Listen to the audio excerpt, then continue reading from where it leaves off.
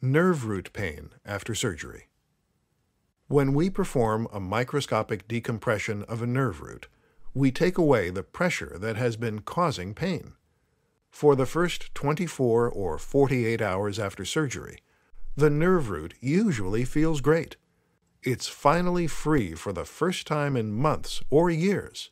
Since there is now less pressure on the nerve root, there is also an increase in blood flow to a part of the nerve root called the dorsal root ganglion. The dorsal root ganglion can swell, and you can experience a temporary spike in pain or discomfort. We call this postoperative dysesthesia. The word dysesthesia has Latin origins and basically means bad sensations. It describes an abnormal or unpleasant sensation when touched.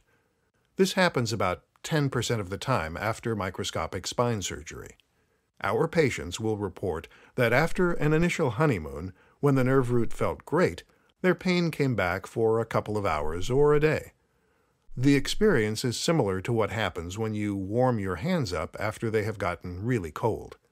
When they are cold and numb, similar to being squashed by a disc herniation, the feeling is unpleasant. As they start to warm up and the circulation is restored, the pins and needles can make you want to crawl out of your skin. If this happens after surgery, the best course of action is usually to give it time and walk it off. The nerve root needs time to heal. If we were to illustrate the pain caused by a disc herniation that requires a microscopic decompression, it might look something like this. The nerve root is happy until a disc herniation squeezes the nerve root. Anti-inflammatory medications, muscle relaxants, and physical therapy help decrease the pain. But the pain keeps coming back. This herniation is bad enough that it needs an operation. On the day of the operation, the pressure is finally removed and the nerve root breathes a sigh of relief. 24 to 48 hours later, increased blood flow to the dorsal root ganglion causes temporary swelling, and the pain may return. As the nerve continues to heal, the swelling comes and goes, but ultimately the nerve root returns to normal and the patient is happy.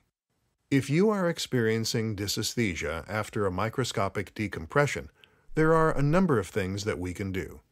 We can give you a short course of anti-inflammatory steroids like prednisone. We can give you some medications like Lyrica or Neurontin that help with nerve root pain. If your pain is really severe, we can give you a nerve root block with an injection. Most of the time, dysesthesia after spine surgery is temporary. If it persists for very long, more than a week or two, we will get an MRI scan of the area to make sure there is no new problem causing nerve root impingement. If you develop dysesthesia or other symptoms, such as muscle weakness, new numbness, or problems with bowel and bladder function, we need to know about it. Make sure you contact us so that we can monitor your progress and help guide you through the post-operative period.